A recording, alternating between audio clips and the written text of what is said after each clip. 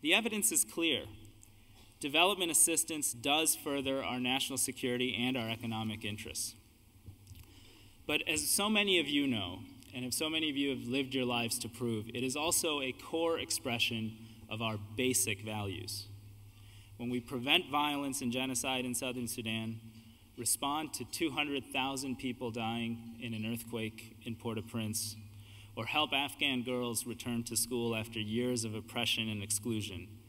We are expressing American values. When Americans,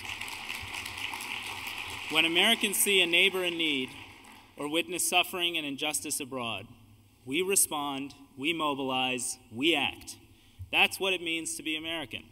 As we speak today, USAID staff are positioned on the Tunisian and Egyptian borders of Libya helping tens of thousands of migrants return to their home countries, seek refuge, safety, food, and shelter.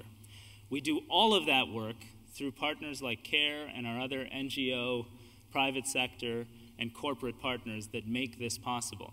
We're just a convening entity and an entity that organizes ourselves to be able to execute that. But when we respond to those crises, we're expressing who we are. And the fact that more than half of all families in this country responded directly and gave directly to the earthquake uh, response in Haiti is evidence of the fact that we are on the right side of responding and on the right side of representing the values of the American people. Because development assistance is so central to who we are, what we represent, and what we aspire to, we have realized that we just have to do it better we have made reform of our development approach a central tenet of this administration.